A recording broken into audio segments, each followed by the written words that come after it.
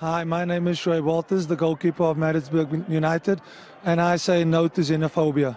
We, if there's anybody who sees any difference in the color of my skin, they are the expert.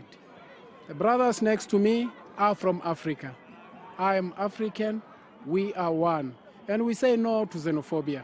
These are our brothers, they have to stay safe. This is their continent, this is their country. We are together in this. Let us be more respecting to human life. I'm Patrick Tignyemb from Cameroon. I say no to xenophobia. I'm John Pantsil from Maritzburg United, a Ghanaian international. I say no to xenophobia. God bless Africa. Sibulele Maphosa says on hashtag SSDiski, Africa Unite. Let's all say no to xenophobia. We echo those same sentiments, and myself and Brian and Jerry, we spoke about this right at the top of the show. Ayiphele le nto ba. ayiphele ba Hayi zaphela. ayiphele ayiphele umoya wehle asikhulumeni if kunenkinga ezikhona ayiphele Phelelwa Africa amazwi. yethu. Phelelwa amazwi. I- Ukuthi nje kubuhlungu.